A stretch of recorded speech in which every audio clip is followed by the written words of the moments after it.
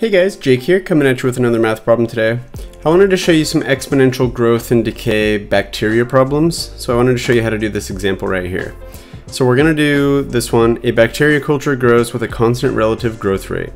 The bacteria count was 400 after 2 hours and 25,600 after 6 hours. And this is actually going to be a three-part question. So part A is what is the relative growth rate? Express your answer as a percentage. Part B, what is the initial size of the culture? And part C, find an expression for the number of bacteria after T hours. So this is actually going to build off of one of the formulas on my integral calculus cheat sheet that I came out with recently. There's a link down in the description and in the pinned comment below if you want to check that out.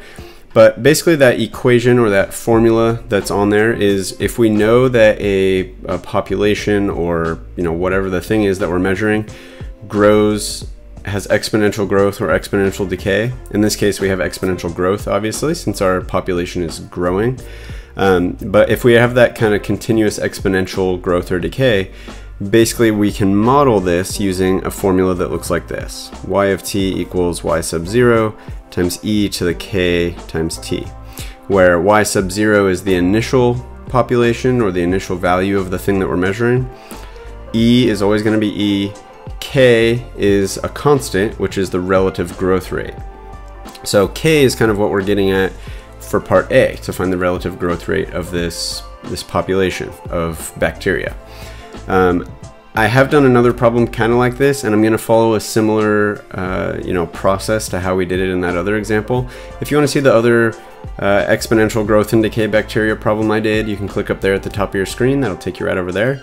Um, but basically what I did there and what I'm going to do here is we want to actually start with part C because I think it's actually easier to uh, you know, kind of work with this expression and work with this formula from my Calculus 2 study guide in order to figure out the relative growth rate and actually the initial size of the culture as well. So we're going to kind of use this formula to kind of work our way backwards to solve part A and part B. And once we've figured out part A and B, that would, you know, basically give us part C based on this form. Before I jump into that though, please, if you're finding these videos helpful, be sure to hit that like button down below, hit the subscribe button, hit that little bell icon too. Only like 2% of the people who watch my videos are actually sub subscribed to my channel, so if you're one of part of the 98%, hit that subscribe button. Make sure to join the Jake's Math Lessons community so we can keep, uh, you know, helping you with homework and tests all term and keep crushing it on calculus. Um, but let's go ahead and jump into this problem. So, like I said, we're going to kind of use this formula um, you know, this this y sub 0 our initial population of the bacteria obviously we don't know that.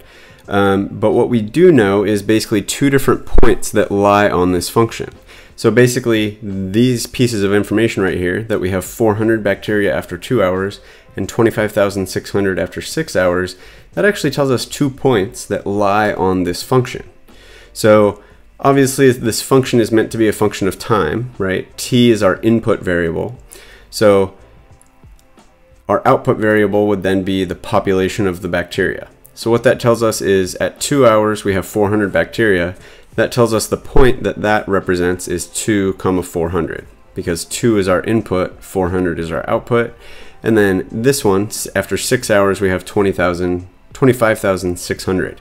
So that gives us the point 6 comma 25 600. So these are basically the two points that we know lie on this function. So what we can do actually is plug each of these in to our equation and create a system of equations that we can then solve. So doing that basically just means that we're plugging in our input for t and then we're plugging in our output for y of t because this function should output the number of bacteria after t hours. So doing that is going to give us, uh, first we'll plug in this first point, so we'll get 400 equals y0 times e to the k times 2. And then plugging in this point, we're going to get 25,600 equals y sub 0 times e to the k times 6. So like I said, what this has done is it's created a system of equations for us because now we have these two unknown things, right? We have y sub 0 and we have k, and we have two equations. So we should be able to solve for these using two equations, solve for two unknown pieces. So first of all, let's just kind of simplify this a bit. So, I mean, there's not, not going to be a ton that we can do to simplify this, but, uh, you know, first of all, basically we can just simplify our exponent or our power. Just multiplying 2 times k just gives us 2k. And then the other one, 25,600 equals y sub 0 e to the 6k. All right, so with a system of equations, there's usually two different ways we can solve those. In this case, the easiest way to solve this one is probably going to be with substitution. So what that means is we can take one of our equations, solve it for one of our variables or one of our unknowns, and then plug that into the other one. So what I'm going to do is I'm going to take this first equation and I'm going to solve for y sub 0. So to do that, all we really have to do would, would be divide both sides by e to the 2k. So doing that will give us y sub 0 equals 400 over e to the 2k. Okay, so now what we can do is we can take this y sub 0 and plug it in to y sub 0 into our other equation. So doing that is going to give us 25,600 equals 400 over e to the 2k times e to the 6k. And how this is actually going to simplify is the e to the 6k divided by e to the 2k. This 2k is going to cancel with two of these k's, and we're just going to get e to the 4k.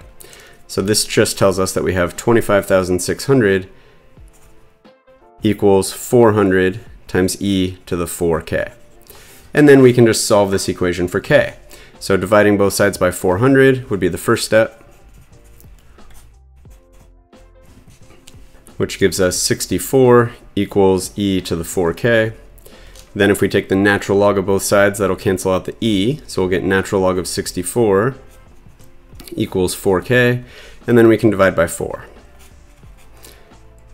Giving us k equals natural log of 64 divided by 4, which if you plug that into a calculator, would just give you 1.0397. And then so k, like I said, represents the relative growth rate of this problem. Since part A asks us to find the relative growth rate, but remember we want to express it as a percentage, we would just take 1.0397 and express that as a percentage by just moving the decimal over two places, giving us 103.97% per hour. So 103.97 would be our relative growth rate. Now what we need to do is find the initial size of the culture, which again, if we just solve for k, which was 1.0397, if we plug that back now into what we had here for y sub 0, which represents the initial population of bacteria, plugging that k value in there should give us our y sub 0. So plugging 1.0397 in for k right here is going to give us 400 over e to the 2 times 1.0397. And if you plug that into a calculator, that just gives you 50. So basically that tells us that our initial size of the culture is 50 cells, 50 bacteria. So now, plugging both this k value and this y sub 0 value into this equation that we, we started with, which tells us an expression for the number of bacteria after t hours, that's going to give us the solution to part C. So that's just going to be y of t equals y sub 0, which again was 50, times e to the k, which was 1.0397 times t. So this is our expression that tells us the number of bacteria after t hours. So again, if you found this video helpful, please be sure to hit that like button down below, hit that subscribe button, join the Jake's Math Lessons community, and we'll keep crushing it all term. Thanks and see you next time.